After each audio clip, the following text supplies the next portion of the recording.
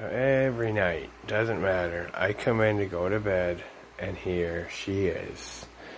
She has a million places to sleep in here, but she chooses my bed. And I will tell you, my bed was made, and filthy now,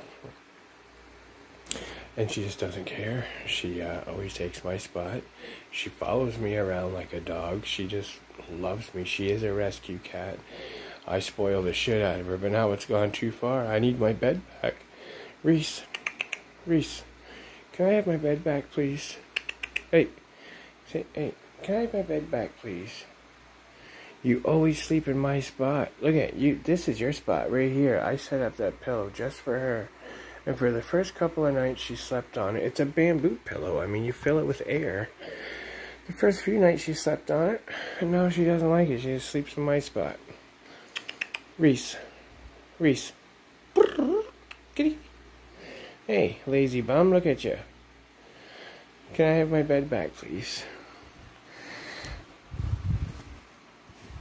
Oh, I know, I know. Alright, Reese, hey. Hey. It's time for bed, baby. Can I, can, can I lay down? Come here.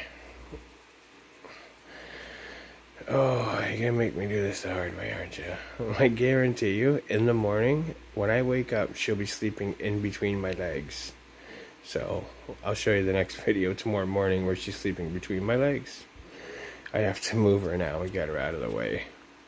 Good night, YouTube. Reese, say good night, YouTube. Say good night, YouTube.